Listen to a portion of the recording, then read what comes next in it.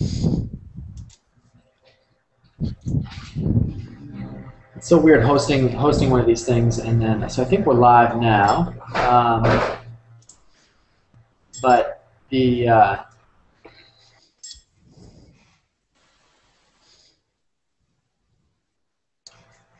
but it's not so. Uh, David was another guy at the Ross School who I really wanted to have on this call, um, but he's not here, so that is fine. Zach, why don't we just start with introductions? Um, Zach, do you want to go first?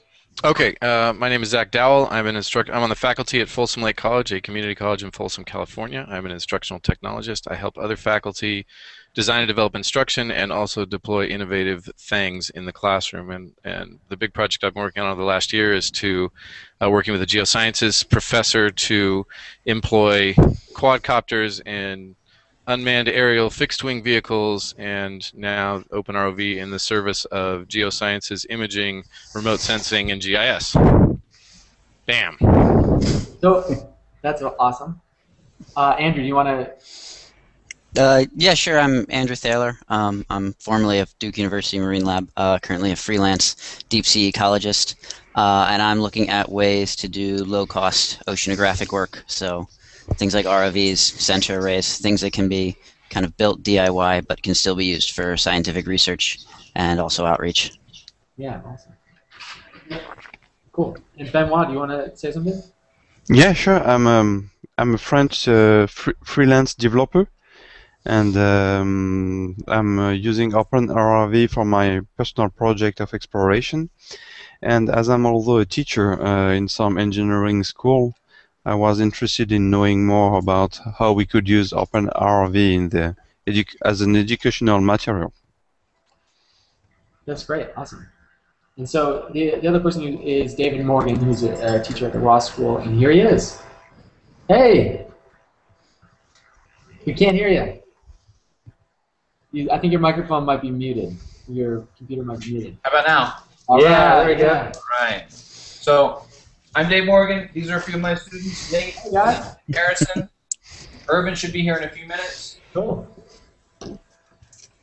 So, um, as the point of this call, I really just wanted to, to start a discussion because we end up having this all the time. Is from educators who are like, "Hey, I really want to get this in the classroom, develop some curriculum around it." And there was a bunch of people. There's a, a number of people who have started kind of working on this stuff. Zach is, a perfect example. So I really just wanted to do this um, this call just to get the discussion started and and really kind of hear what people are already doing and maybe brainstorming about some, some different ideas that we can do going forward to kind of coordinate and help help each other out. Maybe create something together that is better than we, we could have done separately. So, Zach, I, would like to start with you, just kind of talking more about the, the Do Look Down and, and the and the work that you're you're already doing for the geosciences. Okay, well, uh, I'll start with a, a real brief. We have a local company called Parallax. They make the propeller chip and a lot of sort of robotic stuff, and they're right over the hill here in Rocklin, uh, 20, 25 minutes from here. And I went over there one day when they were starting their uh, quadcopter platform, which they call the ELEV-8, and it hit me all in a moment of uh, uh, like a, a, bolt of lightning that that we should be using this for custom imaging for the geosciences. So I wrote a proposal. I found a champion. Uh, the way I work is I find champions within departments who are willing to you know spend a bunch of time doing stuff that may or may not work. And uh, and so we got some kits in. We started flying, and then looking to see how we could expand that program while backing into how we can um, come up with the educational and, and sort of um, activity processes to get the images into the GIS, for instance. And uh, and then I saw y'all at Maker Faire, I guess last year, and talked to you a bit, and uh, thought that that would be a great addition to our um, imaging capabilities, as well as you know expanding into things like um, uh, water sampling and all that other kind of stuff. Um, we have a local, so so I got a kit and I'm working on it. I'm building it out and I started to say how hard it is for institutions to get stuff. So the idea that I have to try and get these batteries from Hong Kong is is close to impossible in Ah. my institution. Um, uh, so that's just maybe a side note. It's really hard. So I'm I was paranoid to start the project because I was if I screwed up the acrylic, you know, it would be close to impossible for my institution to like engage to get more acrylic. You know what I mean? It's think really really hard. Also, Um, the, the batteries, um, you don't actually have to just get them from Hong Kong. If you're willing to pay like two dollars more, you can get them directly from Amazon. I'll send you a link right now. Yeah, I guess I meant more. Getting anything with a credit card is close to impossible at my Yeah, that makes which sense. is how everyone works in the kind. Of, I'm out there on the edge of kind of you know buying stuff that is not the accustomed. The institution's accustomed to buying things from state-sponsored vendors and approved vendors and stuff. So. Well, um, don't hesitate to, to uh, reach out or post it on the forums or whatever because we'll. That, that would be a stupid reason for anything. so just let me know about any of that. Um, So I've, I've documented just one thing, and I'll, I'll stop talking. I document I've documented everything about the project. In fact, I'm also uh, filming the entire build, and I'm going to do it Oh, at super great! speed. So I have a camera way up above cool. my workstation. So I've filmed every single moment, or pretty close to every single moment of the build, and I'm going to put that together in like a 15 second video. So That's. The, the thing we need the most uh, help with is thorough documentation because we, we've been making videos almost every day now, several videos a day of different aspects of it, but there's still bits that we're missing out and there's still things that we're maybe taking for granted. And so, like seeing someone else building it and whatever challenges you have and stuff, that's extremely valuable because that's direct feedback that we can incorporate into doing the instructions better and doing the documentation better. Cool. So so that's me. That's my project. I put the link there. Um, and then I want to. I'm sorry. I, I'm not going to hog. I promise. But there's one other project that's been going on in this county for a long time. It's called Watershed Education Summit. I'll put the link in there. And it's a. We have a lot of lakes and reservoirs around here, so I I have the. Uh, I don't have to deal with salt water, which is nice. Um, and I'll just put the link here, and y'all can look at that. But it's a. They take high school kids up to sample water and do all kinds of and count caddisfly larvae, et cetera. So I'm I'm looking to partner with them as well to kind of bring maybe bring the open ROV out once they're out in the field to just you know do some cool stuff. And I'll stop talking now. Thank you. That's awesome. So uh, I, I'd love to, to move the conversation over to Andrew. You've worked with the Jason project. You've, you've brought in these some of these bigger ROVs into schools. Can you talk a little bit about that and like what you learned and what you think the best practices are for, for that stuff, or like what was really cool or what could be cooler, that kind of thing? Yeah, so um, most of my work's been with ISIS actually, the um, the UK's ROV. I was out in the uh, Cayman Rise with them in January, uh, and so most of what we do is we have we, we had pretty high bandwidth while we were we were out at sea, and we were able to um, to Skype into school groups to, to kind of give them a tour of the the facilities to sort of show them what was going on on an oceanographic expedition, and then we were able to um, mostly just upload uh, images and video um, through Twitter and every other possible medium we could get our hands on that wasn't terribly high bandwidth, um, and just sort of kind of engaging anyone who was interested in following along. Uh, there's also there's currently the um, so Rhode Island has the Inner Space Center, which goes out with the Okeanos Explorer. That's the um, that's the that's the big um, NSF ship that's got the uh, I think Nereus is on it right now, um, or Nereus might be on Schmidt's boat, the Falkor. Uh, one of the other. There's there's two cruises out right now and, and two robots. I can't remember which robots on which boat. But um, the Inner Space Center um, puts a live feed up of everything going on. I'll, I'll see if I can pull up that feed right now. Um, and it gives you a kind of a live if they've got an active ROV going, you get a live uh, feed of the seafloor. Um, if they've got the AUVs going, um, it kind of just updates as as you go, and, and you get kind of a direct feed to the control van. But um, there, there's some really cool stuff going on with the uh, the big ROVs. But I'm really interested in getting um, smaller ROVs into the hands of people who may not necessarily have access to kind of these big um, facilities. So my my primary research site's in Papua New Guinea, um, and I, I'm really excited about trying to bring um, a bunch of kits out to, to PNG the next time I go. Uh, partner with someone at the University of Papua New Guinea and um, kind of have their, their undergrad and graduate students build up a few of the of the robots and then use them for their research because there's a lot of stuff going on in relatively shallow water out there and I think it'd be great for them to um, uh, get their hands on on something they can do. And you know, wouldn't it be cool if like the the classrooms that get it there, if they could connect with um, like Dave's classroom in New York?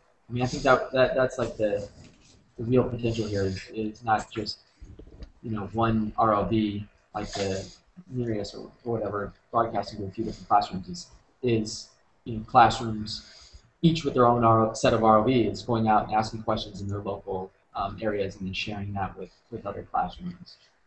around. Yeah, I mean that kind of stuff would be fantastic. Um, developing countries have other issues involved with that because there's there's infrastructure and bandwidth issues. Sure. Um, so it's hard to get video feeds out and, and stuff like that if you're broadcasting from an island in Papua New Guinea. But um, it's getting better all the time. Um, there's some places like Port Moresby where their their internet connection's better than what I'll get in Beaufort, North Carolina.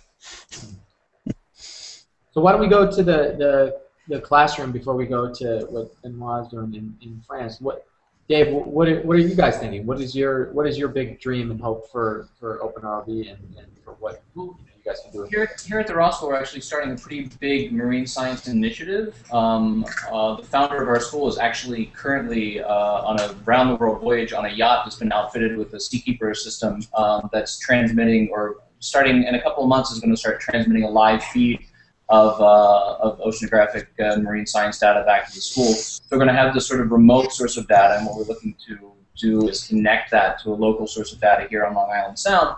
Um, we're out sort of in the tip of Long Island, so we have uh, access to both the north and the south uh, shores of Long Island. Um, and uh, and so we're hiring a full-time marine science teacher next year. Uh, we're offering three new electives in marine science, um, physical oceanography, and uh, coastal ecology. Um, and so, in uh, you know, looking at the ROV as, as part of that package, I'm the director of a program here called the Innovation Lab, which is sort of a math and science academy uh, for advanced students within the school who are interested in technology and engineering. Um, so from a technical standpoint, you know, I'm interested in having my students hacking the thing and modding the thing and making sensor packages. Um, we use a lot of, um, you know, portable sensor platforms like the Vernier system. Um, you know, which is a small battery-powered data collection device that you can hook a pH sensor, a salinity sensor, or dissolved oxygen sensor, whatever to. Um, so next year, I'm going to have my students working on waterproof enclosures for that sort of thing integrate in with OpenROV. Um, but from an educator standpoint, um, you know, and looking at the, the technology part of it, um, what I was thinking about is sort of the opportunity to develop uh, just a set of standalone curricular modules um, for teachers who uh, manage to wind up with one of these in their hands uh, in the classroom, um, maybe aren't sure exactly what to do with it um, educationally, um, to put together a set of resources, a set of essentially um, plug and play labs and activities that teachers could download uh, and have ready to go in their classroom uh, to put a tool like this to, to quick use. That's cool. So what? Um, that's interesting. So like, so you, you talk about modules. That that's that's interesting to me. Can you give me an example of like one or two of those that you actually Well, like of? I mean, teachers, you know, especially public school teachers who are outrageously busy and don't have a whole lot of time to sort of invent their own curriculum. Um, they like, you know, when you go to, to science conferences like NSTA, National Science Teachers Association, or, or things like that. Um, they love stuff that's off the shelf. Uh, so if there's a 10-page PDF about water quality, uh, there's a 10-page PDF about uh, about you know uh, coastal environments uh, that they can pull and use with their eighth grade class, or maybe there's a version for fifth grade and a version for eighth grade and a version for eleventh grade, uh, and sort of pull these things and, and have an, an off-the-shelf activity because I think a lot of them might be okay, you know, a, a controlled submarine is a cool thing, but but I don't really have the time to integrate that into my uh, science classroom, and I'm worried about tests and standards, and so uh, sort of the way off-the-shelf curricula packages like that usually work is um, not only are they ready to use, but there's documentation in there that explains how it's integrated with science standards and uh, and things like that, so teachers can sort of justify um, the use of these things in their classroom. I mean, I'm lucky enough to teach at a private school where I have a lot of flexibility in my curriculum, but uh, but uh, not all public teachers have that function. Does there seem to be much interest, um, kind of academically, in not just technology and science as two separate things that should be taught, but specifically the link between the two, using technology to do science? Is there is there a, a, a bit of curriculum that's already being pushed um, that is specifically about the, the combination of those two things? Yeah, I think there. Ha- I mean, I think the the maker movement is kind of making its way into schools at the moment, and I think there is actually a lot of interest in uh, combining the science uh, aspect of well, just science class with the technology aspect of doing something hands-on and learning by doing, and having an experiential learning uh, process where uh, it's not just uh, sitting in class and, and reading about marine biology in a book, but being you know ankle deep in the water for a couple of days and, and you know using something that you built yourself and you understand how it works. Um, I think there is a lot of interest in that, um, but I think that you know, like I said, for for a lot of public school teachers, there's interest in that, but the framework in which they can execute that is relatively narrow. Uh, you know, maybe one day a semester uh, that they have free from um, all the other demands of their curriculum that they can do something extra. So, so one of the things that, that I think uh, that public science teachers really appreciate um, is sort of a, an off-the-shelf curricular solution that, that lays everything out for them that they can they can execute, um, and that sort of that work of that integration of the science, the technology, uh, the the process. You know, if there's a protocol for taking data or whatever, that work's already been done. So what what about the, the sharing aspect? Because you know, in our in our experience, one of the most important things that we've learned personally is the value of sharing, like just just collaborating with people all over the world. And I think that's one of the biggest opportunities here with with OpenROV is is is to collaborate. And um, wondering if that fits into anything anything that you're planning, or, or I don't know, maybe that's too broad of an idea, but just kind of. It seems plausible that you know people could develop, they could build the ROV in one place, a different place could develop a payload that goes on the ROV, and yet a third, you know, another third place might be able to actually deploy the ROV, and a fourth place could pilot the ROV from somewhere else in the world. You know, things like this where different people are focusing on different things um, I mean, Open OpenROV is all about sharing the ideas and designs, so that collaborative element seems like a, a useful tool too. Yeah, and I think especially if if if uh, if you're talking about uh, having students develop uh, water sampling or data collection payloads, um, having a, a, a, sort of open forum where where teachers from you know two different places in the world, even two different places in the East Coast, can take data in the same week and compare you know, what was the water temperature as a function of depth where you are? What's the water temperature as a function of depth where I am? What's the pH of the water in North Carolina? What's the pH of the water in Long Island Sound? And just to have that sort of exchange of real world data that you've created yourself, I think is something that, that students, especially in the younger grades, don't really often get to do. Um, most of their data sort of comes pre-packaged from lab experiments and aren't really experiments at all. Um, and so I think the, the value of, of having a, an environment where people can share um, you know, the, the, the data, well, and both the, the things that they create and the ideas that they come up with using it, but also the data that they collect would be really valuable. So, the, so the we, have kind of talked about. So I think we're all familiar with the, the education system in the United States, but I'm interested to hear what uh, lot of things because most of these ROVs are actually going around the world. Um, mm -hmm. At least half of them are, are going out of the country. So I'm interested to hear from, from an international perspective, what, what your thoughts are on, on incorporating it in the kind of education system. Benoit, are you still with us? Yeah, yeah. Uh, I, I, was wondering if you were talking about me. Uh, I guess I'm the only international guy, so yeah. yes. Uh, so, um, can you repeat exactly the question, please? So, you know, this is you know we've kind of been been um, you know, having this conversation It's very, very U.S. centric. I mean, we're, we're thinking about our education system and ways that we can incorporate this. But I think the real opportunity is that the, um, the these open ROVs are going all over the world, and I, am really curious to, to know, um, you know, from from someone who's outside the United States, what the what the the draw is and what they what you see as the potential for using these class classrooms or in any kind of education. Well, um, to me, um, as I told you, I'm, I'm teaching in an engineering school, and uh, they have um, uh, a department which is dedicated to embedded systems. And uh, they all the students have some options. Uh, some have some free time to do personal project. That is that is part of the part of the year. And I was thinking about uh, suggesting to work on the OpenROV to I don't know. Honestly, I didn't think about more than that. Uh, I just realized that it could be uh, some educational uh, stuff uh, when I saw the meeting, and I guess we could work uh, with the students during a year to to whether um, improve the embedded system. maybe expand uh, with new payloads.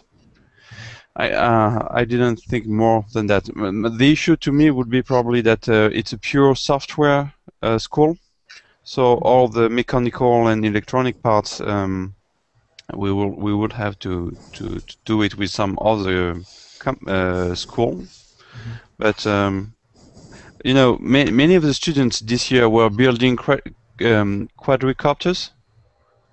I don't know why they wouldn't build uh, an open ROV. We are we are a city on the sea, and we have a strong uh, industry dedicated to sea. So it makes a lot of sense to to work on this kind of project. What level are most of the students that you work with at? I mean, are they are they? Um, you said they're mostly software people, right? They're not they're not really doing mechanical design so much as software design. Is is that correct? Yeah, that's that's it. Because I'm in a software school.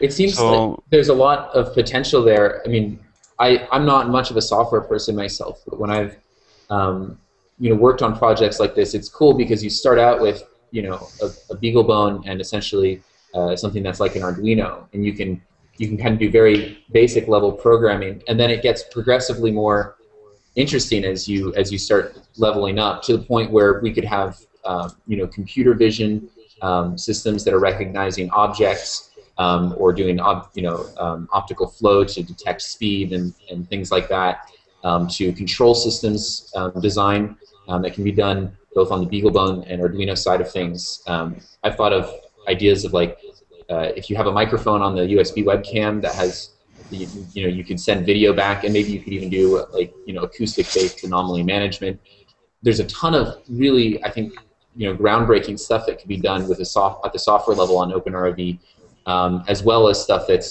a great kind of platform to learn from because it's you know it's it's an easy stepping stone to that and so i'm really excited to start seeing people like how you're describing using using it to uh, to develop their own ideas You know, I would. Yeah, and wha- wha- what you mentioned is typically typically this kind of stuff we we could work on. Uh, you talked about the um, computer vision. Uh, uh, myself, I got interested. In, I got interested into into it and look at it. It's a pretty it's a pretty big big step, and uh, yeah, the, um, that that's the kind of stuff we could we could work on. Um, did you? Is there any group on on this specific subject or? Well, we're trying to develop those sorts of discussions on our forums on OpenROV. You know, we have the, the forum pages, and um, Mhm. right now there's been a few things where people kind of lightly touch on the idea, but we'd be extremely interested to start seeing that more kind of aggressively pursued. And all it really takes is someone saying kind of what their general thesis is, what their thought of of what they want to pursue is, and then especially we found once people start giving a demo, even if it's a really crude first attempt, um, that's when people really start collaborating a lot. Um, so we haven't really done too much computer vision yet, um, but it's it's being developed. There's also some um, alternate bits of software that can be put on the ROV that um, use OpenCV, which is an open source computer vision platform. Mhm. And so, um, yeah, I mean, I think this is just the genesis of it right now. So The, the the thing is, for my students, the year is done right now. They will, or they are all leaving for vacation, so all that will be discussed in the ba- back to school in September. Well, we'd love to even at least hear um, what kind of the interest is, and, and you know, we'll try to connect the right people also, so that maybe there's even some prior art by the time they're ready to start looking at it. So and by by this time, mine should be finished. so I'm glad I'm glad it made it customs there. Um, so the uh, the one thing I, that keeps coming up in my mind is that, and this is not not just for OpenROV in, in education, but OpenROV in general is is people have all these kind of different uses for it, and it's so broad. I mean, there's there, it seems like there's actually so much that you could do, and someone and someone this brought up this idea of this kind of inquiry-based curriculum where you really where you really set instead of having like right answers or right things to do um, that the, the entire curriculum is really based on asking great questions. And i think that's a really intriguing and interesting idea especially when you think about OpenROV because if, if you kind of put the, the center of the, the, the curriculum on you know encouraging those the students to ask great questions then you know, the, the exploration and the, and the technology and the building out the different payloads um, could all extend from that. But it seems like it seems like it's still we still need kind of those questions. Maybe some of them emerge as, as more engaging and more opportunities to, for learning. But I'm, I'm wondering what you guys think of that idea of this kind of inquiry-based curriculum. Maybe it's what you guys already do. I'm not. A, Uh, I, Yes, it- personally, I, I really love it. Uh, The thing is, in France, we are much oriented to answer the right question rather than learn students to ask the right question. you know how to Yeah, and actually, sorry about that. Go ahead. Go ahead. Sorry. Yeah, so so you just got me thinking about it because I, I hadn't thought about this before. But there's um there's uh, an institute out in Eleuthera in the Bahamas, the Cape Eleuthera Institute, that runs a high school program that's kind of exactly what you're describing. It's a it's a marine focused, inquiry based sort of uh, boarding school program. It's obviously tailored to wealthier students, but um, they might be a good uh, test ground for um, trying out some of these kinds of curriculums. Um, they certainly have the resources to uh, to definitely do some trial and error. Cool. Interesting. Zach, how much of, how much of that idea is like part of what you do already? How much are you like sitting down with students going, all right, what do we want to learn? What do what do you what are you guys curious about? How much of Well, I, I think good teachers and good faculty do that. I'm in a, a kind of unique position because I deal my the people I teach are faculty, so I'm one step removed from the the classroom, generally speaking. Um, but the people that I partner with are very much oriented in in that direction, as evidenced by the fact that they're willing to, you know, uh, you know, we got all this stuff not knowing, having really any idea what the right questions were, but knowing that if we got the platform rolling, that we'd be able to um, not only invite students to come up with those use cases, but um, so yeah. Well, I think that's the right spirit, and I hope that I hope that whatever happens, I hope that that kind of remains baked into the DNA. Is that that this isn't we're not telling you what to do. We're just giving you an opportunity to, to ask a bigger question, to go a little bit further, and to see a little bit deeper. So, I don't know, Dave, what, what do you think about that? Does that kind of fit with what you're with what you're planning, or do you have kind of a more Yeah, I mean, it runs the gamut for me. I mean, for my for my sort of program within the school of the the uh, sort of math and science academy kids, I view it as, as completely open ended. You know, here's an ROV. What are you going to do with it? Um, you know, when thinking about how to apply that uh, to the sort of the the grade level experiences, you know, uh, when I hand it over to the seventh and eighth graders in the junior science program, if I hand it over to the students in uh, one of the marine science electives. Um, I think it may be a little more constrained than that, but I still think, I mean, I still think the best uh, experience for students to have would be something inquiry based. You know, to have them figure out what are the questions I could ask and answer um, about, you know, what's going on uh, 100 feet down in the Long Island Sound, uh, and how could I answer those questions with uh, the tools that I have available, be they cameras or microphones or, or, or you know, uh, pH meters or whatever. Um, so I think that that's that's the absolute ideal is to make technology uh, like this part of or embedded in a sort of authentic uh, inquiry-based research question um, for students.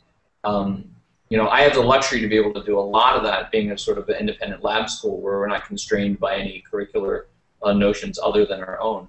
Um, so that's easy for me to do, and, and sort of as a lab school, part, the other part of what I see is, is our job to do is to take the results of that and to sort of pre-digest them a little bit um, for teachers and students who might not have that much time, who might not have time for a two-week inquiry process. Maybe they only have time for a two-day inquiry process. Um, maybe they only have time for a one-day, let's drive this thing around and, and ask some questions without really the opportunity to answer those questions.